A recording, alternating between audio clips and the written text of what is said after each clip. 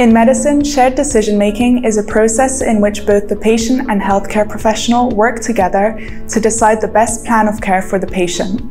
When making a shared decision, the patient's values, goals, and concerns are considered.